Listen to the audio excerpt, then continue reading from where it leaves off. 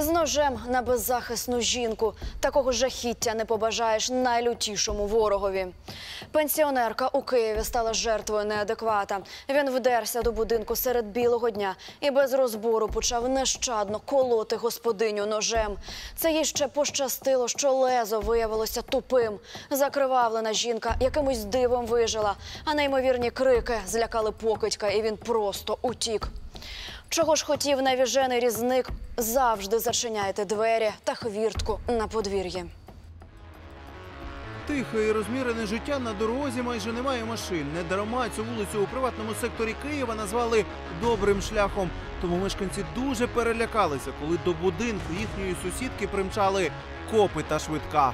Шесть машин, скорая, то есть это положено. Это вообще что-то впервые такое произошло. В основном такого у нас нет. Просто заломился в доме, начал резать все. Не доведи, Господи, не приведи Боже таке страхіття пережити.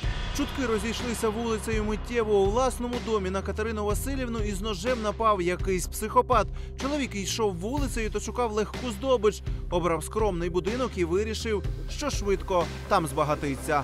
Той чоловік прийшов з парку, пішов по цій вулиці і першу найменш захищену хвіртку, вхід, він вибив, виламав, зайшов, напав її ножем, 20 ран наніс і да, днем десь взагалі отакий день. Ну, це жах. Очевидно, чоловік сподівався, що в будинку нікого не буде, він спокійно обчистить помешкання. Тож, коли побачив господиню вдома, отетерів, але не розгубився.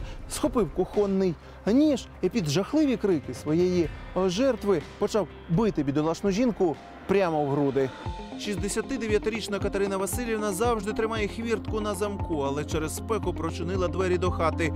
Коли побачила незнайомця із оскаженілими очима, та ще й з ножем в руках, господиня просто заклякла. Я не встигла испугаться. Он сразу начал у меня тыкать. Проломил, зашел.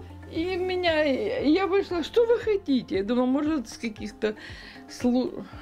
Он не говорил ни слова. Он сразу ножом стал меня тыкать. У меня там блузки подранные. Уже ста- стал тыкать. Я стала отби- кричать и отбиваться. Від згадки про той страшний день бідолашно й досі кидає у холодний піт. Чужинець був безжальним, наче якийсь маніяк. Він методично штурхав жертву ножем, не сказавши при цьому ані слова. Я вот вышла, но тут вся основная борьба длилась. И он стал меня вот пихать, видите, нож, он в грудь стал пихать. Ну, я стала защищаться, я стала выхватывать у него нож. И, короче, где-то минуты за две я в него все-таки выхватила этот нож. Хоть у меня там все пальцы все порезано. Но Он тогда стал удирать. У нерівному двобої нелюдськими зусиллями пенсіонерці вдалося відбитися від нападника. Жінка й досі не розуміє, як кремезний бандит не зумів із нею впоратися.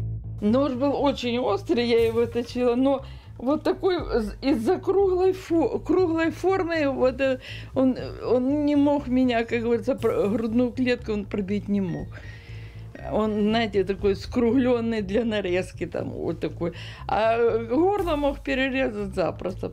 Коли на крики збіглися сусіди і викликали поліцію, походюк вирішив здатися. Він був наче одурманений і не знайшов пояснення своєму безглуздому вчинку. Затриманий 32-річний уродженець Донеччини проник до приватного будинку та, побачивши там жінку, кинувся на неї з ножем. Із затриманим відповідно проводяться усі необхідні слідчі дії та з'ясовуються мотиви, такого вчинку. Він не назвав, наскільки я знаю, причини такого свого поступку. Хитрує, да, він хоче уникнути відповідальності, скоріш за все. Поки навіженого різника закрили у СІЗО на два місяці. За замах на умисне вбивство чоловік може сісти до тюрми на 15 років. А Катерина Васильівна, якій дивом вдалося вижити, тепер завжди тримає двері на замку. Але страх досі не відступив. Пенсіонерка здригається від найменшого шурхоту.